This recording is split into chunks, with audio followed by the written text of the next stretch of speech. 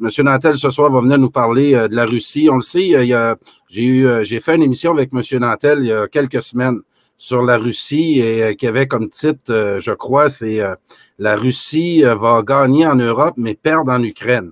Et là, Monsieur Nantel, ce soir, va venir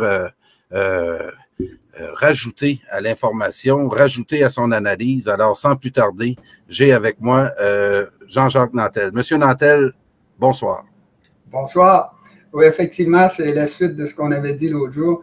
Euh, moi, je pense que l'Ukraine, euh, la, Russie a fait une erreur d'attaquer l'Ukraine, même s'il fallait qu'elle défende les Russes. Il y avait, d'autres moyens de faire ça. Il aurait pu passer par l'ONU, enfin. Euh, moi, j'ai été surpris, désagréablement surpris par l'attaque russe. Et les Russes sont en train de perdre, perdre une partie de leur prestige, notamment l'efficacité de leur logistique alimenter leur armée, etc. Euh, bon, etc. Mais euh, comme j'ai dit, euh, la Russie, parce que les gens ont beaucoup de mal à se souvenir à propos de la Russie, et pourtant c'est évident quand on regarde leur histoire, c'est que les Russes se sont toujours appuyés sur l'hiver pour gagner contre leurs ennemis. Et c'est une des armes de la Russie. Une, moi, je dis souvent le, le mot pour résumer la Russie, c'est froid c'est froid. Alors, comme il fait froid là-bas, les gens sont habitués de lutter contre le froid, sont habitués de souffrir et sont habitués d'utiliser ça pour se défendre. Alors, euh, c'est de ça dont je veux parler aujourd'hui. Euh, là, euh, l'Ukraine a fait une, percée dans le nord, du champ de bataille. Et, c'est une des choses qui caractérise cette guerre, c'est que tout le monde sait ce que tout le monde fait à cause des satellites les, satellites russes voient ce que les Ukrainiens préparent et les, satellites occidentaux voient ce que les Russes préparent.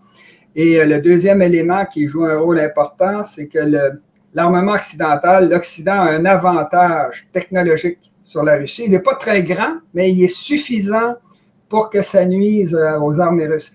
Alors, euh, ça favorise la défense. Un, un, contexte comme ça où tout le monde sait tout, on voit parce que pour alimenter une armée, ça prend ce qu'on appelle de la logistique, c'est-à-dire toute une chaîne de camions, de, gens qui amènent du pétrole, de la nourriture, des armes, des, munitions aux armées qui se battent. Alors, si euh, l'armée qui qui peut faire le plus de bombardements, peut détruire les ponts derrière, derrière son ennemi, puis euh, finalement, ça, stabilise les fronts. Les fronts ne bougent plus. Euh, on a eu ça à la Première Guerre mondiale ça s'immobilise, puis là, ben, les gens s'entretuent en pure perte. Euh, la Première Guerre mondiale, c'était une vraie folie. C'était la même chose lors de la guerre Iran-Irak. Euh, euh, tout le monde est informé de ce que les autres faisaient. Dès qu'il y avait une concentration de troupes, ils le faisaient. Puis ils n'arrivaient pas à se déplacer puis à gagner la guerre de façon décisive. Mais c'est des, des, des, des bouchées. Alors, le fait que l'Ukraine profite d'un armement de haute, de haute technologie, qui est meilleur que celui des Russes. Les Russes ont des grosses quantités d'armement, mais une grande partie de ces armements-là date de 20, 30 ans. Alors, c'est dépassé. Alors, c'est pour ça que la, Russie a eu tant de problèmes en, Ukraine. Maintenant, les Russes ne se sont pas encore servis de leur principal outil, qui est l'hiver. Ils l'ont fait souvent au cours de leur histoire. Alors, je vais d'abord commencer par énumérer les forces naturelles euh, de la, de la Russie. Alors, si vous mettez l'image 21, la Russie, euh, c'est une immense plaine. En fait, la plaine nord-européenne, elle commence en France, puis elle se continue à, peu près jusqu'au Pacifique. C'est-à-dire que c'est possible de passer sans rencontrer euh, des montagnes comme les Alpes ou des montagnes comme les, Rocheuses ou l'Himalaya. C'est toujours des montagnes qui se franchissent facilement. Des fois, on s'en rend même pas compte, ça fait partie du paysage, mais c'est surtout une vaste plaine. Et euh, la Russie, c'est une puissance continentale parce qu'elle est installée au nord de l'Eurasie, ce qui permet d'accéder de, tous les côtés à cause de cette plaine-là. Alors, vous voyez ici sur la carte la montagne Oural qu'on voit euh, euh, du côté de la Russie, du côté ouest. L'Oural, ça, ça, fait partie d'une chaîne de montagnes qu'on traverse sans trop s'en rendre compte. On les voit, les montagnes, mais ça ne empêche personne de passer. Ça a toujours été comme ça. Mettez la prochaine image.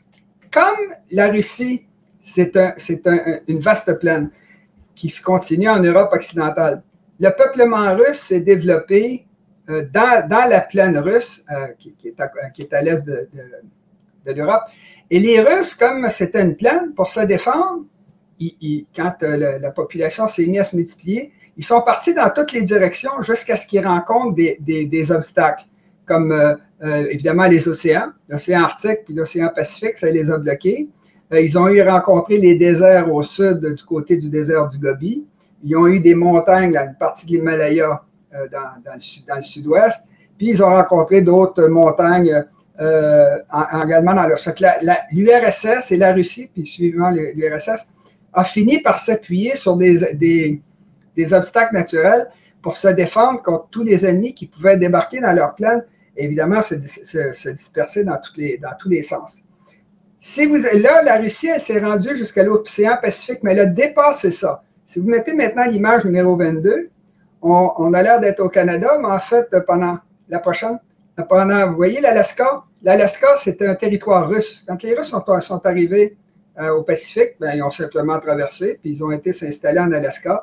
Puis ils ont, ils ont même pris une partie de territoire qui va jusqu'aux îles de la Reine Charlotte. Vous voyez, au sud complètement. Alors ça, c'est la, la Russie qui a conquis ça.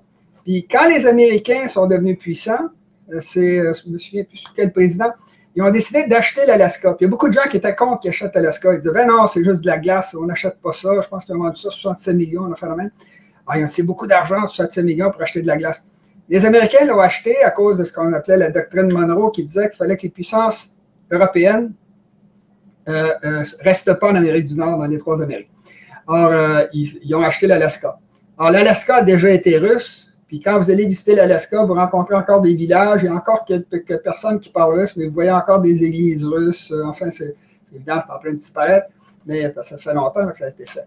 Mais euh, ça, donne une idée à quel point la Russie s'est étendue géographiquement sur de la glace dans des pays de neige et pays de froid.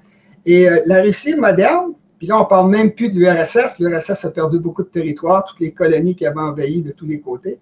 Alors, euh, la Russie, elle a 17 millions de kilomètres carrés. Elle a 61 000. Euh, attendez, je pense, si vous mettez, la photo numéro 24, est-ce qu'on peut la voir plus grande? Non, ça doit être la, numéro 21. Remettez la numéro 21.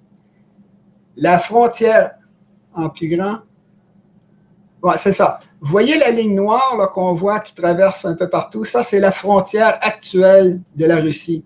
Eh bien, cette frontière-là, -là, aujourd'hui, elle a 61 000 km de longueur. C'est extrêmement long. Ça fait qu'elle a beaucoup, beaucoup de voisins. En Russie, c'est tellement grand le, territoire, c'est 17 millions de kilomètres carrés. Le Canada, qui est le deuxième plus grand pays du monde, en a 10 millions. Puis comme on sait, le Canada, c'est 90% c'est presque inhabitable, c'est du froid, c'est de la glace, de la toundra, de, la taïga. Alors, euh, en Russie, il y a 11 fuseaux horaires.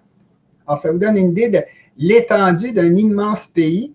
Alors, ce qui fait que la Russie, maintenant, si vous mettez l'image numéro 24, la Russie, c'est un, est au nord de 24. Euh, la, Russie est au nord de, l'Eurasie. C'est ça. Et euh, c'est une, les, les, grands fleuves en Russie n'aboutissent pas dans les mers froides. Euh, dans des mers chaudes, pardon. vous avez par exemple les grands fleuves de la Russie comme l'Ob, qui est à l'ouest, l'Ienisseï et la Lena coulent vers l'océan Pacifique, euh, l'océan Arctique, pardon, qui est un océan glacé euh, presque toute l'année. C'est quelque chose comme dix mois où c'est difficile de passer. Alors, les Russes, comme tous leurs grands, leurs, grands fleuves, pas tous, mais une grande partie de leur fleuve coule vers un, océan glacé et froid. Euh, ils ont également un, fleuve qui s'appelle la, Volga. Euh, euh, Moscou est installé sur un des, un des affluents de la Volga. La Volga, malheureusement pour les Russes, aboutit à la mer Caspienne, qui est une mer fermée. Alors, les Russes ont peu de sorties vers ce qu'on appelle les mers chaudes, qui sont ouvertes à longueur d'année, contrairement aux États-Unis, où toutes leurs villes sont sur des mers chaudes. Alors, les Russes, si vous regardez, attendez, oui, allez-y la, photo numéro 25, s'il vous plaît. Non seulement les fleuves coulent vers le nord en Russie, mais les principales, le long de l'océan Arctique, vous avez des villes russes, plusieurs villes russes. D'ailleurs, Vladivostok, ce n'est pas sur, sur l'océan Pacifique, mais ça a accès à, l'océan Arctique. On voit très bien que l'océan Arctique est un océan russe, étant donné que les villes nord-américaines, il n'y a aucune ville nord-américaine le long de l'Arctique. Alors que les Russes ont toutes ces villes-là qui ont un accès facile à l'Arctique et de la population russe le long de, de l'océan Arctique. Ce qui fait que l'océan Arctique est un océan russe, contrôlé par les Russes. Et largement, là, ils ont. Ils ont également, vous voyez la ligne rouge qui est au nord, nord de, la Russie.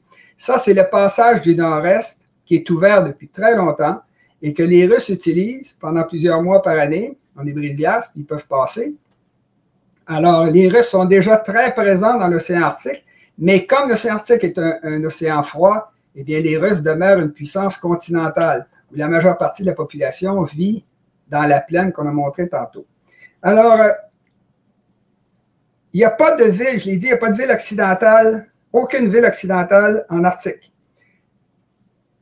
La Russie, elle a peu de ports qui donnent sur des, euh, océans ou des, mers libres de glace. Alors, euh, vous avez, euh, vous si vous prenez par exemple la photo numéro 26, on a une ville complètement à l'est de la, Russie qui s'appelle Vladivostok, qui est sur un océan qui est libre de glace, la mer, la mer du Japon qui donne accès à l'océan Pacifique. Mais Vladivostok est très loin de la zone de peuplement russe il y a juste euh, quelques milliers, quelques centaines de milliers d'habitants, quelques millions euh, installés euh, dans cette région-là. Puis ils sont entourés par des, grosses puissances comme le Japon, la Corée du Sud, la Corée du Nord, la Chine. Alors, les Russes, ils ont, des, des, ports sur les mers chaudes, mais c'est très peu utilisable parce que le peuplement est très, très loin, des milliers des milliers de kilomètres de là. Vous avez également, ça, ça fait que Vladivostok est un port important pour les Russes, pour leur, leur, bateau, etc. Mais ça demeure qu'ils ont beaucoup de mal à, en profiter. Les sous-marins russes, qui ont toujours été nombreux, notamment du temps des, des, des, Soviétiques, euh, ils servaient évidemment de l'océan Arctique pour passer en dessous de la glace. Mais le problème, c'est que les villes russes qui sont, qui sont sur des mers chaudes, puis il n'y en a pas beaucoup, comme je vais le montrer, ils sont tout le temps embouteillés. Vladivostok est un bon exemple. Ils sont entourés de puissance, ils ont beaucoup plus, beaucoup plus de, peuplement. Et c'est très difficile pour les Russes qui fabriquent leur, leur richesse en, Russie d'Europe d'amener ce qu'il faut pour défendre Vladivostok ou pour se, développer à partir de Vladivostok. Ils sont embouteillés à, ce, cette région-là. Dans le nord de la Russie, l'océan Arctique est également embouteillé pour les Russes au détroit de Bering, où les Américains sont du côté est, puis les Russes du côté ouest les Américains voient toujours ce qui se passe quand les Russes essaient de sortir par le détroit de Bering. Je parle de l'océan Arctique. Du côté ouest, c'est pareil. Alors, si vous allez, par exemple, à l'image numéro 27, vous allez voir que euh, les Russes, euh, ben, du côté ouest de l'océan Arctique, ils peuvent sortir. Mais c'est très difficile parce que vous avez l'Islande, la Norvège, qui sont des alliés américains, le Groenland également. À chaque fois que les Russes essayent de sortir en utilisant, même avec leurs sous-marins, l'océan Arctique, euh, les Américains euh, les, Occidentaux savent où ils passent. Il y a d'autres villes russes qui ont accès à des, mers chaudes. Vous avez par exemple euh, la ville de Saint-Pétersbourg qui est près de, la mer Baltique. Mais quand vous sortez par Saint-Pétersbourg, c'est de l'eau, c'est de l'eau qui n'a presque pas de glace pendant l'hiver. il faut passer par le Danemark, la Suède, qui sont des, qui sont des alliés déclarés ou non de l'Occident. Alors, la Russie est encore embouteillée au niveau de Saint-Pétersbourg. Et vous avez encore la Crimée, euh, ou les Russes dans le sud, qui donnent sur la mer Noire, où les Russes ont accès. Et si vous mettez le, bas de la carte, euh, euh, quand les Russes veulent sortir par la mer Noire, bien, ils doivent franchir le Bosphore, qui appartient à la Turquie. Ils sont encore embouteillés. La Turquie fait partie de l'OTAN. Et ils doivent passer par le détroit de Gibraltar, où là, encore une fois, c'est des alliés des Américains. Alors, les Russes ont beaucoup de mal à utiliser les, océans comme les Américains le font. Alors, ils sont vraiment embouteillés dans leur, euh, pays. Euh, c'est ça. Une des solutions qu'ont pris les Russes pour essayer d'améliorer ce contexte-là, c'est qu'ils ont construit toutes sortes de canaux pour relier les différentes mers qu'il y a en Russie, puis les différents, euh, réseaux hydrographiques.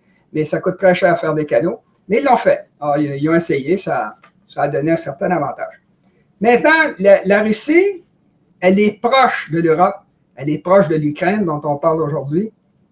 Elle est proche de la Russie, elle est proche de la Chine, euh, proche de la Chine, pardon. Elle est proche de tout parce qu'elle est sur le continent, mais c'est une puissance continentale. Alors, ça, c'est très avantageux de pouvoir être proche des, des, endroits qu'on veut, qu'on veut conquérir ou qu'on veut, euh, qu'on veut menacer. Quand vous êtes une puissance continentale, mais l'inverse est également vrai. Toutes les puissances qui sont autour de votre pays ben, peuvent vous attaquer. Alors, les Russes ont une force pour attaquer et une faiblesse pour se défendre, parce qu'ils ont 60, 61 000 km de, frontières. Maintenant, au niveau du climat, je l'ai dit, la Russie, c'est froid. Ça, détermine un paquet de phénomènes qui sont produits au cours de l'histoire. Mettez la photo 28, une photo qui va rappeler quelque chose aux Québécois.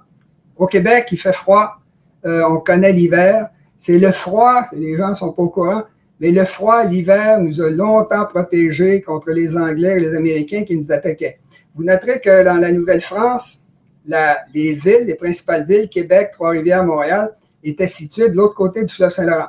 Et que la route principale de la Nouvelle-France, qui est aujourd'hui l'autoroute 40, le chemin du roi, était sur la frontière nord du Saint-Laurent. De façon à ce que quand les gens nous attaquaient, on avait juste à attendre l'hiver, puis ils étaient obligés de traverser des montagnes, des, plaines, puis ensuite traverser le Saint-Laurent. C'était facile à défendre. C'est pour ça qu'on a, duré aussi longtemps en étant 70 000 contre euh, l'Empire britannique. Alors, la Russie, c'est exactement pareil. Les Québécois sont tout à fait au, courant. Les hivers sont longs, les étés sont courts, et quand il y a une guerre, il faut attendre l'hiver. Quand l'hiver arrive, ben là, vous êtes pris avec de la neige, de la glace partout, euh, les chemins ne sont pas praticables, le fleuve Saint-Laurent n'est pas praticable. C'est pareil en Russie. Et ça, ça donne une force à la Russie, ça les affaiblit au niveau économique, mais au niveau militaire, c'est extrêmement utile. Et dans l'histoire, ils ont eu à trois reprises, il y a eu Charles XII de Suède qui a envahi la, Russie, puis qui a essayé de conquérir jusqu'à Moscou, etc. les Russes ont reculé, ils ont tout brûlé pour pas qu'il y ait rien. Ils attiraient l'ennemi dans un territoire qu'ils venaient de détruire, ils venaient de détruire leur propre pays. Et quand, quand l'hiver arrivait, ben là, les Russes avaient reculé vers leur source d'approvisionnement, puis l'ennemi s'était avancé dans un désert, puis là, il y avait le problème de la logistique, d'alimenter l'armée qui attaquait. Alors, quand l'hiver arrivait, ben là, les fusils ne marchaient plus, les canons ne tiraient plus, la neige, euh, les, les, les, roues étaient prises dans la glace, les animaux mouraient, les chevaux. Bon. Alors, ils ont fait ça contre Charles XII de Suède. Ils ont fait ça contre Napoléon. Napoléon, il a attaqué avec une armée de 600 000 hommes. Il y en a, je crois, que c'est quelque chose comme 50 000 qui sont venus. Ils sont, fait tuer par l'hiver. Les Russes s'appuient sur l'hiver, c'est leur général hiver pour les défendre. Et même chose pour Hitler. Hitler a essayé de. Euh, euh, euh, comment est-ce qu'il s'appelle? Napoléon, il a conquis Moscou. Il rentré à Moscou, s'est installé à Moscou. Moscou appartenait aux Français. Puis les Russes ont mis le feu parce que c'était une ville de bois. Une ville de bois parce que dans le Nord, on construit avec du bois, comme au Québec. Alors, ils ont mis le feu à Moscou, puis là, ben, Napoléon est obligé de, reculer vers la Pologne. Puis là, ben, quand vous reculez, vous présentez le dos à vos ennemis. Alors là, évidemment, ils vous prennent, puis là, ils se mettent à tuer vos soldats, puis les gars meurent de faim parce que ils ont tout brûlé devant eux. Ils ont fait la même chose à trois reprises. Les Russes étaient prêts à détruire leur pays pour pas qu'ils soient conquis. Puis quand l'ennemi était rendu très loin de la frontière, ils se mettaient à crever. Puis là, les Russes contre-attaquaient parce que les autres sont habitués au froid comme nous autres, les Québécois. Ils habitués d'avoir les deux pieds dans la glace. Puis ça dure, des, dure cinq mois, cinq mois d'hiver. Mon ex-femme, qui, était qui, est, brésilienne, elle disait euh, au Québec, euh, il y a deux saisons. Le mois de juillet puis l'hiver exagéré, mais pour quelqu'un qui vient du Brésil, c'est pas faux. Bon, alors, euh, la Russie, elle est encombrée par la glace, par le froid. C'est une faiblesse son économie, un avantage au niveau, euh, au niveau militaire. Puis elle le fait, c'est incroyable d'être prêt à détruire son pays pour empêcher qu'il soit, soit envahi. Puis il gagne comme ça. il, perdait, il perdait beaucoup de gens à chaque fois. Mais les Russes avaient natalité euh, qui, ne s'éteignait jamais. Maintenant. Donc, monsieur, monsieur Nantel, ce que vous êtes en train de m'expliquer, c'est que ce que disait Bruno Le Maire, qui allait mettre euh, les Russes à genoux devant les sanctions, euh, il est mieux de, de comme on, dit au, en, québécois, il est mieux de, de s'équiper pour réveiller tard parce que ça va, ça risque d'être difficile avec l'arrivée du général hiver? Écoutez, c'est un réflexe des Russes. C'est un réflexe, c'est culturel, c'est foncier, c'est mis en valeur dans leur culture les victoires de la Russie, la, guerre patriotique contre les fascistes, etc. Je veux dire, ils sont vraiment comme ça, ils disent, bon, attends, attends, attendez l'hiver, attendez l'hiver, vous allez, vous, allez, vous allez payer pour. Alors, euh, dans l'histoire, les Russes ont été envahis, ont été envahis, mais par des peuples qui venaient de pays froids. Alors, par exemple, si vous allez à la frontière 29, à la numéro 29, vous voyez à droite les Mongols. Les Mongols, c'est un peuple nomade, très peu de. D'après les estimations, il n'y aurait jamais eu plus que 200 000 combattants. Euh, puis euh, ils attaquaient des pays euh, comme la Chine qui contenait des dizaines et des dizaines de millions d'habitants. Alors, c'est parce qu'ils venaient d'un pays très froid. Et les Mongols, à l'époque où ils ont attaqué, au 13e siècle, la Russie était un ramassis de petites principautés, c'était des, des, agriculteurs. Enfin, c'était mal organisé. Alors, ils ont vraiment souffert sous les Mongols. Les Mongols, ah, c'était des sauvages, des, barbares. Il y avait certaines parties de leur civilisation qui étaient grandes, qui avaient, ils avaient développé, par exemple, des arcs d'une valeur incroyable. Euh, les Mongols vivaient de rien. C'était un peuple qui venait d'un pays froid, puis ils vivaient de rien. Le steak tartare, hein, pourquoi on appelle ça des steaks tartares? C'est que les Mongols, quand ils, ils chevauchaient, ils dormaient sur leurs chevaux, puis ils mettaient des morceaux de viande de cheval, euh, les chevaux qui étaient morts, sous leur derrière. Puis là, ben, la, sueur du cheval, c'était c'est comme ça, la sueur du cheval, la sueur du gars, ça attendrissait la viande, puis ils débarquaient pas du cheval, ils mangeaient de la viande comme ça, de la viande crue. Euh, quand, ils avaient, quand ils avaient encore plus faim, euh, ils arrêtaient, puis ils prenaient les chevaux les plus faibles, puis ils leur ouvraient les veines, puis ils suçaient le sang du cheval. Alors, c'était des, des, combattants extrêmement frugaux qui avaient développé des arcs à, courbe inversée, ce qui fait que ça tirait très, très bien. Ils tiraient euh, à cheval. Les Mongols, ce pas des gens forcément très courageux. Quand vous attaquez avec une cavalerie, vous foncez, vous tuez les gens, puis quand ils commencent à s'organiser, vous, vous sauvez à cheval. Fait que là, vous, vous usez. Fait en ils ont conquis la Russie. Puis, euh, pour remettre l'image, euh, l'image 29, alors, les, Mongols ont conquis la Russie, ils leur ont fait très mal, puis à un moment donné, ils sont rentrés en décadence. Et là, les Russes ont commencé à se réorganiser, mais ils étaient toujours sous la. Et ce sont les Vikings, ce sont les Vikings qui ont envahi la Russie et qui l'ont, qui l'ont organisée avant même la venue des, des, des, Mongols. Et ce que faisaient les Vikings, ils avaient fondé des principautés euh, à gauche, à droite en Russie. Puis ce que, ce que voulaient faire les Vikings, ils venaient de Suède, puis il voulait traverser la Russie, non pas pour la conquérir, mais pour aller faire affaire avec Byzance, qui est installé sur le Bosphore, qui est aujourd'hui en, Turquie, et qui était très riche. C'était le restant de l'Empire romain qui a disparu en 1453. Alors, les Vikings passaient d'une rivière à l'autre en Russie, puis allaient faire commerce avec euh, Byzance. Ils leur amenaient des esclaves. Esclave vient du mot, du même, la même racine que slave, slave, esclave, euh, parce qu'ils leur demandaient des esclaves qu'ils avaient ramassés en Russie. Ils vendaient, de, donnaient des fourrures, euh, de l'ambre. Puis en retour, ben, il y avait tout ce que les, les, euh, les, Byzantins pouvaient donner d'une civilisation euh, très en avance sur son temps. Alors, les, ce sont les Vikings qui ont créé la Russie. La racine du mot russe vient de la même racine que le mot roux, les cheveux roux des Vikings. Alors, ce sont les Vikings qui ont organisé la Russie. Puis quand la Russie a été suffisamment organisée, ben là, ils ont commencé à repousser les Mongols qui n'étaient pas nombreux puis qui étaient, qui étaient décadents de toute façon. Alors, c'est les, les, euh, les Russes se sont fait attaquer et vaincus par des peuples qui venaient du froid, mais jamais par un peuple qui venait, qui venait, de, qui venait des, des zones chaudes. Alors, euh, maintenant, il y a une autre affaire que je voulais parler. Là, on a vu que la géographie favorise la Russie à long terme, a fini par favoriser la c'est la même chose avec le climat et euh, que les, les, peuples qui venaient du chaud n'ont pas réussi à vaincre les Russes parce qu'ils attendaient l'hiver, ils ont pris cette habitude-là, ils, savaient ce qu'ils faisaient. Maintenant, vous avez, au niveau du peuplement, je l'ai montré tantôt, je vais montrer montré tantôt, le, peuplement russe est en Russie, en Russie d'Europe, et non pas euh, la, Sibérie, c'était leur colonie, c'est ça qu'ils ont conquis en avançant vers l'ouest, il n'y avait personne pour s'opposer à eux, il y avait des armes, des armes à feu. Alors, mettez l'image numéro 30. Les Russes, comme ils habitent une plaine, alors comme ils habitent une plaine, puis que leur peuplement est dans une plaine, eh bien, leur capitale a eu tendance à se déplacer. Et là, on, voit présentement le problème qu'il y a en Ukraine. la Russie, la première capitale de la Russie était une petite ville qui s'appelait Novgorod. Je pense même que ça s'appelle aujourd'hui Nijni Novgorod, c'est au nord de, Kiev. Mais la première vraie capitale de la Russie, c'était à Kiev, en Ukraine, dans l'Ukraine moderne. Les Ukrainiens parlent une langue semblable aux Russes. Fait que les Russes, pour eux autres, comme la vraie Russie est née à Kiev, en, Ukraine, ils considèrent l'Ukraine comme une partie de la Russie. Et si vous voyez, vous voyez que c'est une plaine, alors, c'est pas totalement faux. D'ailleurs, notamment à cause du communisme, il y a encore beaucoup de Russes en Ukraine. Euh, L'Ukraine, euh, c'est des frontières un peu artificielles qui ont été créées par les communistes. Alors, il y a, c'est un mélange de population en Ukraine. Il y a des Polonais, il y a des Russes, il y a des Ukrainiens, il y a des, je pense qu'il y a des Moldaves.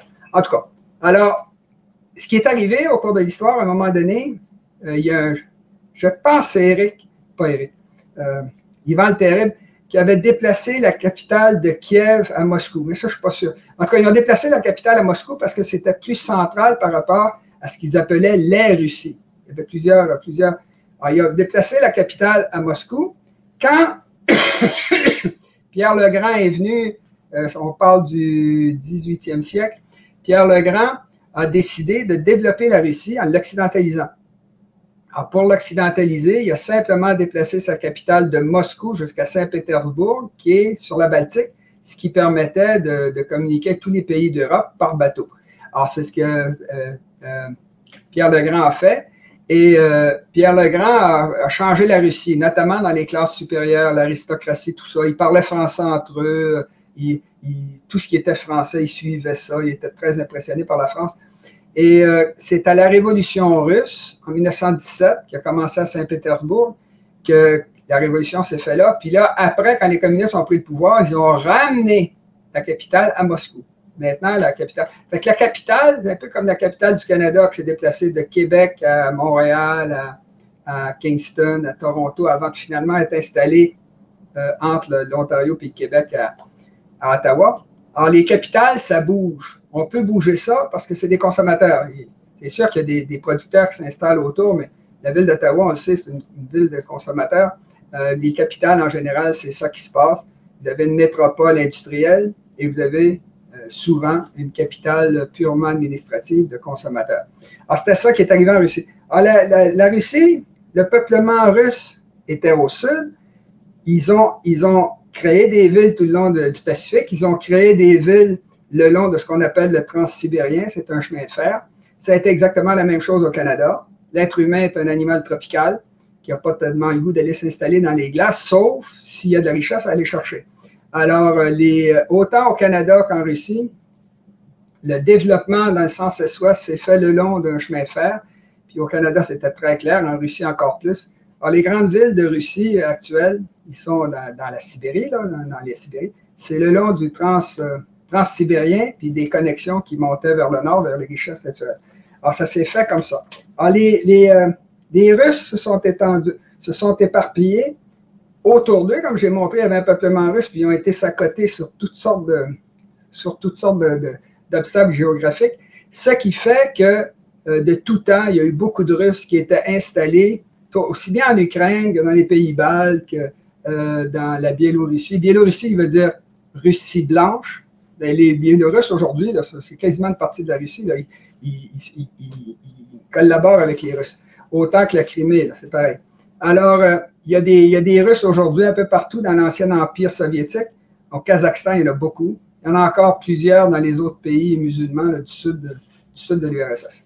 Alors ça, c'est le fait que les, les, Russes soient éparpillés un peu partout autour de la Russie, dans les autres pays. C'est une force pour la Russie, mais c'est également une faiblesse. C'est pour ça que les Russes ont attaqué en Ukraine. C'était pour protéger les Russes du Donbass qui étaient véritablement euh, euh, discriminés par les Ukrainiens, notamment leur langue, enfin leurs droits, etc. Maintenant, c'est ça, je ai parlé. Maintenant, il y a une chose qui est importante de tout ce qu'on vient de dire, que la Russie, c'est froid, que les Russes sont habitués à se battre contre l'hiver. Euh, nous autres, on le sait au Québec, on est habitués à avoir les, doigts gelés. On est habitués à, avoir, de, à avoir des, des, le nez là, qui, qui coule, euh, c'est de la glace qui tombe. Euh, j'étais, quand j'avais 18 ans, j'avais été avec mes amis dans le, dans le Grand Nord pour bâtir une cabane, rebâtir une cabane dans le milieu de la forêt. Puis quand on, pelletait pour dégager les portes, tout ça, On avait l'air des vieillards de 75 ans. Tous les poils étaient blancs. C'était très surprenant. Tous les cheveux qui sortaient. Évidemment, de la boucane, euh, de la fumée qui sortait de, nos bouches. On avait des, des, vieillards. Puis on travaillait comme des fous. On avait chaud. Il faisait moins 35, alors c'était quelque chose d'assez. Bon, les Russes sont habitués à ça. Les Russes, ça fait beaucoup plus longtemps que les Québécois qui vivent dans le froid. Et euh, nous, on a, ça fait à peu près, mettons, 70 ans qu'on est assez bien, assez confortable. Mais euh, pendant très longtemps, les gens vivaient dans des fermes isolées, puis étaient obligés de se fier sur, les gens qui connaissaient le village, etc., les voisins, pour s'entraider. Les sages-femmes, la plupart du temps, c'était des voisines qui venaient accoucher la femme d'à côté. Bon. Alors, le résultat, c'est que les Russes, c'est pareil. Les Russes, il y, a, un mot en russe qui dit mir. Mir, ça veut dire village. C'est les gens qui s'installaient dans le milieu d'une richesse. Il y avait des plaines, quelque chose à exploiter, une mine, quoi que ce soit. Mais d'habitude, c'était de, l'agriculture. Puis les gens se, mettaient à, un, village, mir. Puis là, ils développaient leur propre. Puis évidemment, quand vous faites ça, c'est basé toujours sur la démocratie. Parce que l'empereur, il est loin, le tsar, tout ça. Euh, c'était pareil au Québec. Le, le roi d'Angleterre était très loin. Alors, les gens se débrouillaient d'eux-mêmes entre eux. Puis euh, l'État central, tout ce qu'il faisait, c'est qu'il nuisait. Il venait chercher des taxes, il venait chercher, il venait embêter le monde, il venait chercher des soldats, etc. Alors, euh, en Russie, c'est ça. Le peuple a pris l'habitude de vivre en autarcie dans des petits villages. Puis, quand la révolution industrielle est arrivée, ben là, les gens se sont concentrés dans les villes à 80 C'est 80 dans les villes, 20% dans les campagnes. C'est à peu près ça le, système, euh, le système de la révolution industrielle. Alors, les Russes, c'est un peuple dur, qui est habitué, comme les Québécois, au froid. Les Québécois se plaignent du froid, mais bon, il fait moins 35. Bon, il fait moins 35, bon, on va aller travailler, puis c'est tout. Bon, il fait froid, mais on s'en plaint quand même. C'est pareil pour les Russes. Alors, les Russes, c'est un peuple qui est habitué de souffrir, puis ils ont toujours dit, les Russes, qu'ils avaient une, capacité infinie à souffrir. On l'a vu les trois fois qu'ils ont détruit leur pays pour empêcher que l'ennemi le prenne. Il faut le faire, de brûler sa ferme, brûler sa récolte, brûler ses meubles. Évidemment, c'est un ordre du, tsar, mais pour reculer, pour être sûr, les gens l'ont fait à trois reprises. Alors, les Russes, c'est un peuple qui est dur, c'est un peuple qui est habitué à souffrir, et euh, ils, considèrent que c'est normal. Ils considèrent que dans leur histoire, ben, c'est dans leur culture. Bon. Maintenant, la Russie, comme je l'ai dit, mettez l'image numéro 31, elle a beaucoup de voisins. Elle a 31, elle a, excusez-moi, elle a 14 voisins. Alors, ça fait beaucoup, beaucoup d'ennemis. C'est très utile pour pouvoir attaquer l'Ukraine si les autres ne se mettent pas ensemble contre nous. Mais à chaque fois, les Russes ils ont eu des problèmes avec les Polonais, avec les, Suédois, avec les, avec les Allemands, même avec les Français, avec Napoléon. bon. Ils ont toujours eu des problèmes avec leurs voisins, puis ils en ont beaucoup. Ce qui fait que la Russie peut, est menacée de tous côtés. Et euh, elle, a, beaucoup de beaucoup de beaucoup d'ennemis qui sont très loin. Alors, pour défendre un pays comme ça, ben, ça prend quelqu'un de fort. Parce qu'il faut convaincre les gens de la Russie d'Europe d'aller se battre au bout du monde pour défendre la Russie. Eh bien, ça prend un autocrate fort, ça prend de la violence. C'est pour ça que ça, a dégénéré du temps des communistes. C'était des, massacres par-dessus massacres. Mais c'est parce que pour défendre un pays comme ça, pour le faire fonctionner, ben, ça prend un gros bâton. Alors, c'est ce qui, fait que la Russie a toujours eu des tsars. Ils ont eu Staline. Là, il y a Poutine qui a décidé, avec sa gang, il n'était pas tout seul, et avec son, groupe euh, d'amis, ont décidé d'envahir l'Ukraine. Puis apparemment, ben, les, les peuples d'enfants uniques, ils ne veulent pas qu'on fasse tuer les enfants uniques. Parce que quand un enfant unique meurt, c'est une famille qui meurt. Alors, les Russes sont, sont réticents à aller se faire tuer, mais attention, ils aiment la Russie, ils sont patriotes, ils veulent défendre euh, l'honneur de la Russie. Euh, ils sont très solides là-dessus. Alors, la Russie a toujours eu des autocrates.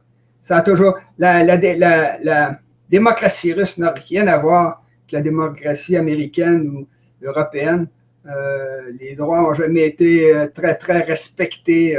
la raison d'État passe toujours en premier. Alors, les Russes sont habitués quand ils sont attaqués, comme je l'ai dit, ils reculent, ils sortent du général hiver, pour vaincre leurs ennemis. Alors, Mendeleev, c'est un savant russe, c'est lui qui a inventé le tableau périodique. Il avait calculé à la fin du 19e siècle qu'en 2050, il y aurait 800 millions de Russes à cause du taux de natalité puis d'immenses territoires la, Sibérie centrale, là, il y a des belles terres, Sibérie occidentale, il y a des belles terres qui auraient pu contenir des centaines de millions de personnes. Mais comme c'est des autocrates, comme ils sont tombés ces communistes, les communistes tuaient beaucoup de monde, ben, la Russie, au 20e siècle, a connu une histoire démographique catastrophique. Or, ce qu'on pense, c'est qu'en 2050, il va rester un peu plus que 100 millions de Russes, peut-être 120 millions de Russes. Alors, la population est en train de s'effondrer. C'est plate parce qu'un siècle plus tôt, Mendeleev avait calculé qu'il serait 800 millions en 2050. Alors, c'est le problème quand vous avez un pays comme ça, où les gens sont habitués de souffrir, ils s'attendent à ce que le, le tsar soit dur, puis qu'il y a des grosses punitions. Alors, euh, il y a un, Russe qui m'a dit, les nazis qui ont tué tant de gens, ils en ont tué beaucoup moins que les Russes ou que les Chinois de Mao, mais il disait, au moins les nazis, ils tuaient les gens qu'ils considéraient à l'extérieur de leur peuple. Mais il dit, Staline, il tuait des Russes. Il tuait des Russes. Puis il en a tué, il Staline, il prenait une liste des, des, des, des États de l'URSS, puis il mettait le nombre de tués qu'il voulait. Euh, je veux qu'en Azerbaïdjan, vous tuez 4000, 4000 personnes. En Ukraine, 22 000. Euh, il ne mettait pas de nom. C'était des quotas de meurtres. Bon, alors, quand vous faites ça pendant un siècle, euh, les Russes ont connu la Première Guerre mondiale, une saignée. Ils ont connu la Deuxième Guerre mondiale, ils ont connu les massacres de Staline des années 30, euh, puis ensuite, ben, ils, ont, connu le, il faut noter, M. Nantel, que Staline était un Georgien, n'était pas un Russe. Hein? Puis ça, je crois que c'est important aussi à expliquer euh, dans, dans les tsars et les dirigeants russes. Là, il n'y a, a, pas juste eu des Russes qui ont, qui ont dirigé. Staline, euh, Staline, il savait ça, qu'il n'était pas, pas russe, puis tout le monde le voyait. Il avait un fort accent géorgien. Euh, puis pour se défendre, Staline était le, le moins impressionnant, un des moins impressionnants des dirigeants communistes. Mais il occupait le secrétariat général. C'est lui qui plaçait ses hommes. Ils ont fait cette erreur-là. Puis quand Lénine est mort, il a laissé comme testament, il a laissé une lettre dans laquelle il a dit Je, je recommande d'enlever le poste à Staline le directeur général, de secrétaire général du parti, parce qu'il est trop brutal. Puis quand Staline a pris le pouvoir, tous ceux qui étaient avec lui euh, ont passé euh, à la moulinette.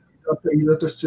Trotsky, Mendeleev, euh, euh, Kamenev, euh, Zinoviev. Et il le faisait d'une belle façon. Hein, pour, c'est une des, des, rares biographies que, que j'ai lues. Et il leur disait Hey, t'as pas l'air affilé ce matin. tu pourrais aller voir mon, mon médecin. Il pourrait voir ce que tu as. Vraiment, tu pas l'air affilé. Et il finissait sur la table d'opération et on l'échappait malheureusement. À un moment donné, Staline était, il faisait ça régulièrement, il discutait avec un, de ses collaborateurs. Tout le monde avait peur de lui, il était dangereux, il était fou. Il était pas fou, il était pas fou, il était, un assassin, un assassin, il se foutait de tout. Au début, il a vraiment fait ça pour la Révolution, il a vraiment crié, c'était un valeur de banque. Hein? Staline était un valeur de banque. Ah oui, oui, oui, j'ai... Même si c'était euh, un des leaders russes qui lisait le plus des œuvres européennes, c'était un, un barbare. Il a commencé comme valeur de banque pour le Parti communiste. Puis il croyait vraiment. Puis là, ben, à un moment donné, il a rencontré, je l'ai dit, le, mire, le mire russe. Les gens ils allaient s'installer dans une région, puis développer une région agricole, puis ils voulaient qu'on leur foute la paix. C'est eux autres qui produisaient la richesse, les enfants. Il n'y avait pas besoin de. Puis là, ben, il, a dit quand vous faites une révolution, faites la révolution près du gouvernement, c'est-à-dire dans les villes. Dans les villes, vous faites faire une révolution. Mais les gens de la campagne ne peuvent pas rayonner sur 1000 kilomètres, aller se plaindre aux arts qu'est-ce que vous faites quand ils font ça? Ben, vous envoyez une petite armée de 300 soldats, vous tirez dans le tas, vous allez chercher un peu plus loin, vous tirez dans le tas, puis là, tout le monde a peur, tout le monde reste chez soi. Alors, les paysans sont toujours mal protégés dans une révolution, tandis que les révolutions en ville, c'est très dangereux? Alors, pour se protéger des révolutions en ville, ce que faisaient les tsars, ce que faisait les Staline, ce que faisait Lénine, c'est d'aller voler les paysans. Ils rentraient et ils disaient aux paysans, vous autres, c'est vrai effectivement que les paysans cachaient le grain pour ne pas se le faire voler, puis surtout, pour faire la prochaine culture, pour avoir des semis, pour pouvoir semer la prochaine, la prochaine saison. Puis les communistes se présentaient dans les villages, puis ils prenaient tout le grain qu'ils trouvaient. Puis il y avait des chiens, il y avait du monde de même pour trouver des, experts pour trouver où était caché le grain. Fait qu'ils partaient avec tout le grain. Puis les paysans disaient, même si tu m'enlèves tout mon grain, je ne peux pas faire la prochaine récolte. Fait que Staline, il est devenu. Il est, devenu euh, Et euh, j'ai compris aussi à travers son, ses, tâches de secrétaire général avant d'être euh, le dirigeant russe, c'est là aussi qu'il a, constitué ses listes. Et ah oui, il a travaillé de façon très méthodique pour éliminer tout ce qu'il y avait autour de lui qui pouvait le, déranger. C'était, c'est toute une histoire, Staline. Ça m'est toujours été qu'une affaire qui était drôle, c'est que des fois, il travaillait avec quelqu'un, puis Staline était la principale victime du système qu'il a mis en place. Parce qu'il avait tout le temps peur de se faire tuer. Parce que tout le monde le, détestait. les gens, les gens l'aimaient parce que c'était la, figure paternelle, le, bon petit père des peuples, ça c'est la propagande. Mais ceux qui étaient proches de lui, en Russie, ils disaient plus tu t'approches du tsar, plus la mort est proche. Bon. Alors, euh, Staline, c'était le tsar. Puis Staline, comme c'était un Géorgien, il savait qu'il était étranger. Euh, Trotsky était juif. Kamenev, Zinoviev, c'était des juifs. Alors, eux autres, ils ne voulaient pas prendre le pouvoir. Ils disaient les, les Russes étaient antisémites. Fait qu'ils disaient Trotsky, c'est carrément pour ça qu'il n'a pas pris le pouvoir. Il disait Je suis juif, ils n'accepteront jamais, ça ne marchera jamais. Mais Staline, il a osé. Puis Staline, il a osé en mettant ses hommes en place, en tuant tous ceux qui étaient, tous les, toutes les têtes qui dépassaient. À un moment donné, il s'assoyait avec un, de ses collaborateurs, puis il regardait le gars, puis il disait Mais pourquoi avez-vous un air aussi sournois aujourd'hui il paraît que le gars, il n'endormait pas pendant des semaines. Il disait, va envoyer l'armée, ils vont, ils vont me chercher la nuit avec mes enfants, puis ils vont tous nous tuer. Il, utilisait des trucs comme ça. Alors, euh, Staline était un assassin, c'est sûr, puis il a été formé là-dedans. Puis c'est un assassin qui était lâche. Trotsky l'avait prédit. Il dit, si jamais il est pris dans une guerre, il va s'effondrer. C'est ça qui est arrivé. Quand les Allemands ont attaqué par surprise, euh, Staline, il restait dans sa dacha pendant une dizaine de jours, il capotait, il disait, ils vont me tuer. Euh, on a perdu, on a fait une erreur. Puis c'est les, gens qui, sont battus contre les Allemands. il y a eu des millions de morts parce que le gars capotait dans son petit coin. Bon, dans sa dacha. Alors, tout ça pour vous dire que les Russes, comme disait le Russe, il dit les nazis, au moins, ils tuaient des étrangers. Il dit Staline, il tuait des Russes. Puis euh, ils ont utilisé tout le système des goulags, qui est aussi pire que le système des nazis, sauf qu'il n'y avait pas de chambre à gaz. Euh, il, il mettait les gens dans le froid. Des fois, ils déportaient des gens dans le Grand Nord il appelait ça de la colonisation. Il débarquait sur le bord du quai, puis débrouillez-vous. Même ça prend, des, ça prend de la nourriture, ça prend des haches, ça prend. Non, non, ça s'appelait. Ils abandonnaient. En tout cas, c'est des trucs horribles. Mais le résultat, c'est que ça a fait un peuple très, très, très dur.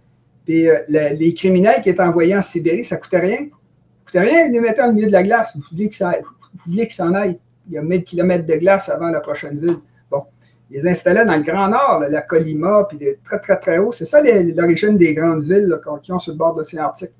En tout cas, tout ça pour vous dire que les Russes ont tous ces problèmes-là et ces avantages-là, mais dans leur dos, leur principal ennemi, il est au-delà des océans, c'est les États-Unis qui contrôlent tous les océans du monde, 71% de la surface de la Terre, plus tous les pays qui sont sur le pourtour de l'Eurasie. Alors, les Américains ont un énorme avantage, mais c'est comme la baleine qui se bat contre l'éléphant. Ils n'ont pas de raison de se rencontrer. Alors, le résultat, c'est que les Russes, d'une puissance continentale, qui ont été usés par les États-Unis, puis que c'est ça que les États-Unis font en Ukraine. Puis l'Europe, qui obéit aux États-Unis ces temps-ci, entre ces organisations de l'OTAN. Alors, l'Europe est en de faire le travail pour eux, mais c'est l'Europe qui va payer pour. Alors, ça, c'est très important que les, les, Américains sont derrière tout ça, ce qui se passe présentement en Ukraine. Comme euh, l'économie russe maintenant. L'économie russe souffre des avantages et des inconvénients du fait que une puissance continentale. Les coûts d'infrastructure sont gigantesques pour les Russes. Il faut qu'ils fassent des, le transsibérien, des voies ferrées, des canaux, des routes. Puis comme on le sait au Québec, tout ça, ça casse avec l'hiver, euh, le verglas, euh, il faut enlever la neige des routes. En fait, c'est tout un paquet de problèmes. Les Russes sont exactement les mêmes. Les Russes, par contre, ils ont, il y a des gens qui disent, ça c'est une image, la Russie, c'est le Mozambique plus des bombes nucléaires. Ça, c'est l'image pour faire, pour dire la Russie, c'est un pays pauvre avec des bombes nucléaires. C'est vrai que la Russie est un pays pauvre. Ceux que je connais qui y ont été m'ont dit c'est très pauvre, excepté euh, Moscou, euh, euh, Saint-Pétersbourg, puis la région de la mer Noire. C'est très pauvre. Mais ce qu'il faut savoir, c'est que si la Russie a une production économique qui est égale à celle de l'Espagne, on appelle ça le PIB, produit intérieur brut, euh, la vérité, c'est que si vous regardez à la parité de pouvoir d'achat, ben l'économie russe est égale à l'économie allemande. Ça dépend comment vous regardez ça. Puis si vous ajoutez toutes les matières premières essentielles dont dispose la Russie, on pense au pétrole, au gaz, etc., l'eau, ils ont beaucoup d'eau. Alors euh, là, la Russie commence à avoir une puissance qui peut menacer une grande partie de l'Eurasie. C'est précisément ce qu'ils font présentement. Alors, la Russie ça, c'est important pour la, suite des choses. ils ont, euh, ils euh, que je voulais dire? Ah, c'est ça. Ils ont un pétrole qui coûte moins cher, un gaz qui coûte moins cher que le gaz qui vient de n'importe où ailleurs pour l'Europe. Parce que les pipelines sont installés. La Russie produit un gaz puis un pétrole qui n'est pas cher, puis ça coûte moins cher de, le pétrole russe et le gaz russe que d'aller chercher au Moyen-Orient, au Venezuela. Les, amis, les Russes ont un énorme avantage. Et ça, c'est un avantage qu'ils avaient hier, qu'ils ont aujourd'hui, qu'ils vont avoir demain. Quoi qu'il arrive avec la guerre en Ukraine, les Russes, les, Européens vont continuer d'acheter du gaz russe parce que c'est le moins cher. Ça, c'est l'économie. Il faut arrêter de niaiser. C'est comme ça. Alors, euh, ils peuvent diminuer leur dépendance à la Russie, mais ils ne pourront jamais l'éliminer complètement pour une raison de coût. Euh, c'est ça. OK. Maintenant, si on regarde l'image numéro 34, vous allez voir que les Russes, à cause de, leur pauvreté relative, euh, les derniers pays qu'ils ont attaqués, c'est des pays qui étaient à côté de la Russie. Avez-vous l'image 34? Avez-vous? En tout cas, les Russes ont attaqué juste à côté des frontières de, de la Russie. Ils ont attaqué la Géorgie, ils ont attaqué la Tchétchénie, ils ont attaqué l'Ukraine, ils viennent de le faire, puis ils se sont battus également en Syrie. Alors, en la Syrie, c'est juste de l'autre côté de la mer Noire, puis vous traversez la mer Noire par le Bosphore, et vous, vous aboutissez euh, en Syrie. Alors, les Russes se sont battus récemment, très, très près. Vous l'avez ici sur la carte. À chaque fois qu'ils ont attaqué, c'était à côté de la Russie. Alors, ils ont profité du fait qu'ils étaient très proches. C'est très facile pour eux euh, d'attaquer ces pays-là. Maintenant, si vous allez à l'image numéro 35, vous allez voir tous les fameux pipelines dont on vient de parler qui viennent de la Russie et qui se rendent partout en Europe. C'est la Russie qui, alimente euh, euh, les, pays européens avec son gaz. Le gaz, ça sert euh, à chauffer les maisons. le pétrole, ça sert à faire rouler les, véhicules. Mais les deux servent à faire des engrais ou à faire des, des pesticides pour l'agriculture. Alors, l'URSS, la Russie, pardon, elle a son pétrole, qui est une force pour elle, mais quand ça traverse des pays comme l'Ukraine, l'Ukraine a volé beaucoup, beaucoup de pétrole aux Russes parce que les pipelines traversaient son territoire. Et euh, en plus de ça, les Russes ont toujours payé des droits de passage dans tous les pays où leur, pétrole passe. C'est pour ça qu'ils ont construit le Nord Stream 1 et Nord Stream 2 qui passent sous la Baltique, parce que ça leur, ça leur évite de se faire voler du pétrole et ça leur évite de payer des droits de passage. Alors, la Russie possède non seulement le, pétrole et le gaz qui permettent de faire des pesticides et des engrais et de faire rouler les voitures et l'économie. Mais en plus de ça, la Russie possède beaucoup d'eau. Pour vous donner des chiffres qui sont assez frappants, les grands lacs nord-américains possèdent à peu près le quart de l'eau douce du monde. Et le lac Baïkal en Sibérie, c'est un seul des lacs russes contient le quart de l'eau douce du monde. Alors, la Russie a également beaucoup d'eau. Ils ont de l'eau euh, pour les pour les fins, qui peuvent vendre partout dans le monde, notamment en Chine, qui commence à en manquer. Alors, les pipelines, si un jour le, pétrole disparaissait ou le pétrole n'était plus acheté, ils pourraient se servir de beaucoup des pipelines qu'ils ont pour amener de l'eau à, tous leurs voisins qui veulent en avoir. Alors, les Russes ont tout ce qu'il faut pour euh, faire fonctionner euh, euh, les, économies et surtout l'agriculture d'une foule de pays, et notamment des pays qui sont près de l'Ukraine et de la Russie et qui dépendent aujourd'hui euh, du, gaz, puis des engrais, puis des, euh, des engrais, des pesticides russes pour faire fonctionner leur agriculture. Toute l'est de, la, Méditerranée, le Pakistan, euh, une grande partie de l'Afrique de l'Est, etc. Alors, la Russie contrôle l'Europe. Si l'Europe continue d'embêter la Russie en envoyant des armes de haute technologie à l'Ukraine pour que l'Ukraine tue des Russes, ben, la, Russie va couper, elle l'a déjà fait, va couper son approvisionnement de gaz et de pétrole à, l'Europe. L'économie euh, européenne, en commençant par l'économie allemande, va, s'effondrer. Il va y avoir des révoltes. Euh, c'est déjà commencé, euh, les médias refusent d'en parler. En République tchèque, il y a eu des grosses, des, grosses révoltes. Les, Hollandais, les, les, Anglais ont commencé à faire des manifestations parce que dans certains cas, le, le gaz a multiplié par 8 c'est devenu des folies furieuses. si les, Européens continuent de, tuer, parce que c'est ça qu'ils font, de faire tuer des Russes, les Russes vont tout couper des approvisionnements. là, non seulement vous allez avoir l'économie européenne va s'arrêter, mais vous allez avoir des famines dans le reste du monde. Parce que c'est eux qui produisent le, gaz et le pétrole qui permettent de fabriquer les engrais. Alors, les Russes sont extrêmement puissants. et penser qu'on va pouvoir user les Russes, puis les, les, Russes, c'est un peuple frugal, je l'ai dit, sont habitués de souffrir, ils s'attendent à ça. Alors, si on essaie de les, faire souffrir dans leur économie, les petites sanctions européennes, c'est rien. Ils ont, à trois reprises, ils ont détruit leur pays pour l'empêcher de se faire vaincre par des ennemis. Ça donne une idée de la mentalité russe. Alors, c'est sûr que quand l'hiver arrive, le fait que l'Europe soit en danger va être obligé, ça, ça, ça se fait euh, dans, les, dans les chancelleries, ils discutent entre eux pour dire, écoute, il faut faire à un moment donné qu'on demande à Zelensky d'arrêter puis de signer le traité avec les Russes pour qu'on ait du gaz. Parce que sans ça, on va avoir une révolution en Europe, puis là, ben, les États-Unis pourront dire ce qu'ils voudront. C'est Macron, toute cette gang-là qui vont perdre de pouvoir. Alors, c'est il y a un dernier, dernier élément.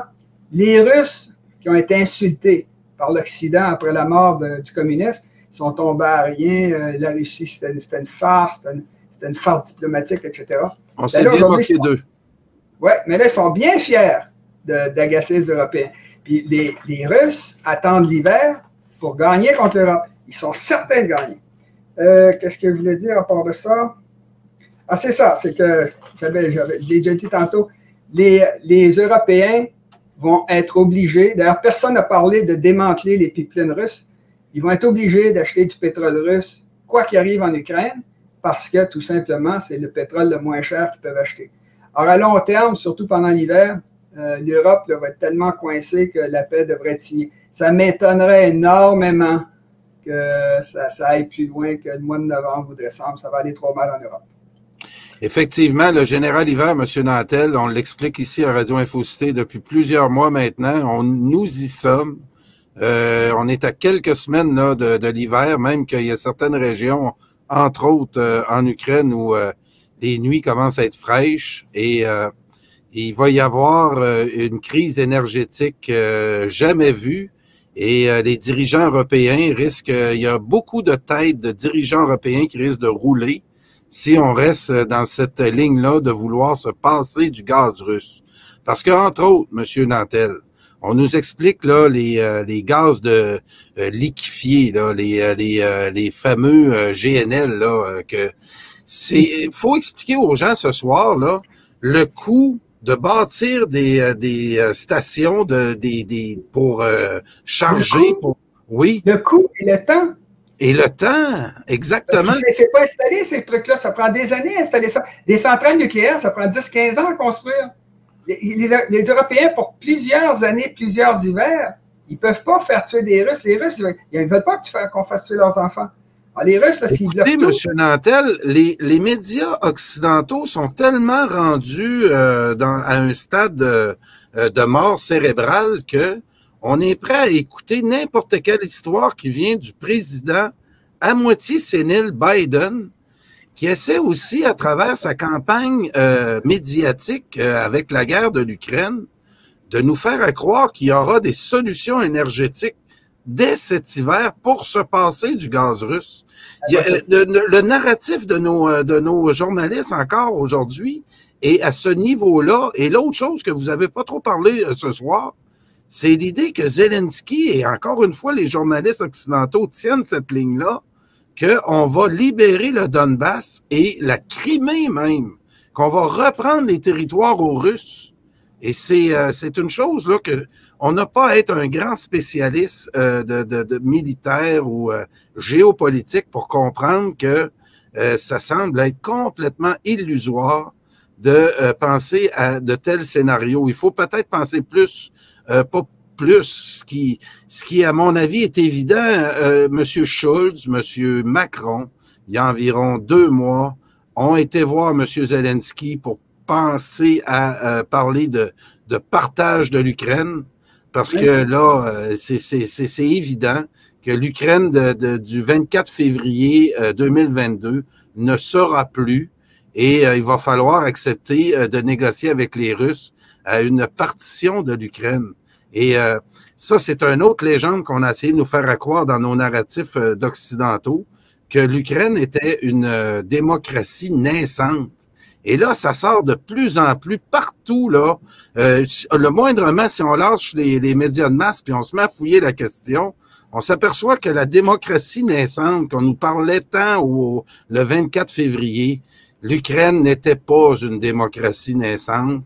C'était un pays hautement corrompu, avec des intérêts internationaux de toutes sortes, qui fait que ce, ce, ce, jeune pays-là, qui existait depuis à peine 30 ans, avait de graves problèmes internes, ethniques. Il y a une partie russe, il y a une partie occidentale qui euh, fait... La, solution, la solution à la crise qui s'en vient, il faut pas toucher aux frontières. Si vous touchez aux frontières, le monde entier va exploser. Ça va être un massacre, il y aura des centaines de millions de morts. Mais dans le cas de ah, l'Ukraine, je pense qu'on est là. Non, c'est pas ça. Je suis d'accord avec vous. C'est pas ça que je veux dire. Il faut que ça soit quelque chose qui dit qu'on a respecté les frontières, tout en respectant le fait que les Russes ne veulent pas faire partie de l'Ukraine. Alors, il faut simplement signer une entente disant, par exemple, que ça va être euh, une souveraineté, association entre la Russie et l'Ukraine puis le Donbass, ben, ça va être des provinces avec 90% du pouvoir. Bon, euh, ils peuvent faire un truc comme ça qui sera acceptable. C'est un mensonge. C'est un mensonge. Parce que la réalité, c'est qu'il y a plein de frontières. Le monde est, le monde est dû pour un, remodelage des frontières, notamment en Amérique du Nord. C'est quelque chose de tout à fait clair. Euh, les, les, États les États du centre des États-Unis, c'est toutes des lignes droites. Il y a même un endroit qui s'appelle euh, le Four Corner State, c'est Colorado, l'Utah, euh, en tout cas le Nouveau-Mexique, en tout cas, c'est quatre provinces, quatre États. C'est une croix, c'est fou, ça n'a rien à voir. C'est purement administratif. Purement, mais ça a été créé à l'époque par facilité, par simplicité. Quand vous avez des frontières droites sur un, sur un continent, c'est que ça a été décidé sans demander aux populations, sans respecter la géographie. La planète est mûre, notamment en dehors de l'Europe, pour une reconfiguration euh, des frontières. Mais si vous faites ça comme le fait Poutine, ben là, vous lancez des guerres, puis là, vous avez des centaines de millions de morts. Il y a moyen de faire ça de façon euh, euh, diplomatique quand ça peut. Mais évidemment, aucun pays accepte de perdre du territoire. Il accepte de le, grandir. Mais à un moment donné, on va en arriver là parce que, comme je l'ai écrit dans mon livre, comme je l'ai dit dans les multiples vidéos, c'est la géographie dans un, sur, sur une planète où l'environnement est en train de mourir. La meilleure façon de produire de la richesse, c'est de respecter la géographie de façon à ce que les, petits profits dont je parle si souvent s'accumulent. Puis euh, dans le cas de l'Ukraine, euh, c'est effectivement, en fait, les Russes qui sont en Ukraine ont été, euh, ont été joints à l'Ukraine, entre autres, pour affaiblir l'Ukraine dans le temps, parce que l'Ukraine avait un, siège à l'ONU dans le temps des communistes. L'Ukraine avait un siège à l'ONU, je crois que c'est la Biélorussie. Et évidemment, c'était fictif, ils obéissaient aux ordres de Moscou. Alors, pour affaiblir l'Ukraine, empêcher de déclarer son indépendance, ben, ils ont mis une partie, une grande partie de Russes à l'intérieur de l'Ukraine. Quand le communisme est tombé, ils ont respecté les frontières, puis là, il y a des Russes qui se sont retrouvés dans toutes les anciennes républiques russes. Puis là, ben, il est temps de réorganiser ça. Par exemple, le nord du Kazakhstan euh, est peuplé de Russes. Je ne sais pas s'ils sont, ils ont déjà été, très longtemps été majoritaires, je ne sais pas s'ils sont encore. Mais à un moment donné, euh, vous avez une partie de la Lituanie qui est peuplée de Russes. Ah, ce que je dis, c'est qu'il y aurait moyen de signer une entente, disant euh, entente temporaire, puis on va renégocier, puis les négociations vont durer pendant, de, pendant 50 ans. Autrement ça serait ça la solution que je verrais pour respecter les frontières sans déclencher euh, des, guerres qui ne finissent pas. Monsieur Nantel, on va terminer avec une question d'un auditeur, Kevin Dupuis, euh, qui nous demande Messieurs, que pensez-vous de M. Zelensky avec son T-shirt vert kaki? Il porte toujours son T-shirt, même quand il rencontre des diplomates étrangers. Euh, mais ça ne colle pas. Alors, euh, je... n'ai aucune confiance en Zelensky. Euh, il a été produit d'un pays à la culture complètement corrompue, qui vient des communistes en passant. Ce pas pas les Ukrainiens, ça ne sort, sort pas des gènes, ça, la, corruption. C'est un système qui, quand l'URSS est tombé, les, les, les, ce qu'on appelait la, la nomenclatura, c'était ceux qui étaient au pouvoir, c'est eux qui ont acheté les usines, et puis ils sont devenus milliardaires. vous ne pouvez pas changer quelqu'un qui est bien connecté, qui est riche, qui est bien éduqué, il reste au pouvoir, à moins que vous le tuiez, comme ce que Staline faisait, et ça finit par une catastrophe de toute façon. Il faut respecter les, élites. Puis dans le cas de Zelensky, ben il ne date pas du temps des communistes, mais c'est l'héritage vous avez les armes que les Européens envoient, les Américains envoient en Ukraine. Une arme, ça sert à être détruit. Donc, bombarder, vous envoyez des fusées. Alors, les Américains vous ont donné 100 fusées, vous en envoyez 75, vous en vendez 25. De la corruption. Puis tout le monde a dit, qu'est-ce qui se passe avec ces armes-là? Ah ben, ils ont été tirés, on les a détruits, c'est ce que disent les Ukrainiens. Mais c'est vendu, il y en a qui se retrouvent sur les marchés, euh, les fusées, euh, ça s'appelle les armes françaises, les canons. Là. En tout cas, ça se retrouve sur le marché, le marché noir, puis ils vont vendre ça dans les anciennes républiques russes ou euh, en Afrique ou n'importe où. Fait que l'Ukraine était réputée, était reconnue officiellement comme un État très corrompu avant la guerre euh, de Poutine. Euh, ben là, c'est sûr, moi, Zelensky, j'ai aucune confiance dans le gars. Il faut qu'il arrête la guerre. Puis là, lui, il, essaie de faire des, des gains. Je, je, pense même, mais ça, je n'ai pas la preuve, je pense que l'entente existe déjà. Il y a une entente entre les, diplomates pour faire à peu près ce que j'ai dit là, mais que ce n'est pas officiel. Puis Zelensky, tout le monde, les Russes, ils essaient de placer leurs pions, puis après, on négocie. Vous savez qu'après la Deuxième Guerre mondiale, il y a bien des gens, des citoyens qui disaient, ben oui, mais les Américains, ils ont donné, euh, ils ont donné la Pologne aux Russes, ils ont donné la Tchéquie aux Russes. Non! Les armées se sont arrêtées là où ils étaient arrêtés, puis euh, ils ont simplement dit, ben là où les Russes sont, ça appartient aux Russes, puis là où les Américains sont, ça appartient à l'Europe. C'est ça qu'ils ont fait. C'est pas recommencer une autre guerre entre la Russie et l'URSS, les États-Unis, après avoir fait massacrer 50 millions de personnes. Alors, euh, c'est la guerre, quand elle s'arrête, c'est où les armées, ben, c'est ça qu'on fait. Euh, il y a eu quelques pays qui ont été libérés par habilité politique. Euh, L'Autriche a été retournée à l'Occident. la Grèce, il y a eu une intervention pour massacrer les communistes, etc. Mais ce que je veux dire, c'est que là, ils placent leurs pions quand ils vont aller à la table, ça devrait être dans pas longtemps. D'après moi, ça m'étonnerait qu'ils prennent le risque de faire sauter l'Europe. Peut-être. Il y a déjà eu de la folie dans l'histoire. Mais je pense que l'entente est déjà faite, puis ils placent leur pion avant d'aller à la table de négociation, qui va durer, qui vont durer des décennies, peut-être, je ne sais pas. Monsieur Nantel, euh, c'est tout pour ce soir. Euh, j'ai euh, peut-être d'autres questions. Je vais juste vérifier les commentaires des. non, c'est tout pour ce qui est de ce soir. Donc, merci. On se reparle la semaine prochaine, comme d'habitude, le lundi, avec une autre capsule. Et on va surveiller le dossier ukrainien, c'est certain. Et moi, j'ai l'impression, Monsieur Nantel aussi, si ce n'était pas l'intervention de de l'anglosphère et de, plusieurs euh, en Occident. Ça fait longtemps que cette guerre-là serait terminée.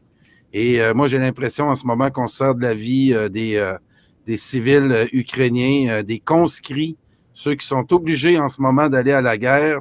On parle là, la semaine dernière de l'offensive que vous parliez au début de l'émission, là, où les Ukrainiens ont, pour des raisons médiatiques, pour essayer de sortir une nouvelle positive dans, dans ce monde très sombre actuellement sur le front ukrainien. Euh, on a voulu tenter une, une offensive qui, euh, jusqu'à aujourd'hui, là, certains disent que ça fait 4000 euh, morts, 4000 soldats ukrainiens. Paul, Valéry, Paul Valéry disait la guerre, c'est des gens qui ne se connaissent pas, qui se massacrent pour des gens qui, eux, se connaissent très bien, mais ne se massacrent pas. Voilà. C'est ça qui Voilà. je vous remercie beaucoup. À la prochaine. Merci, M. Nantel. Alors, c'était Jean-Jacques Nantel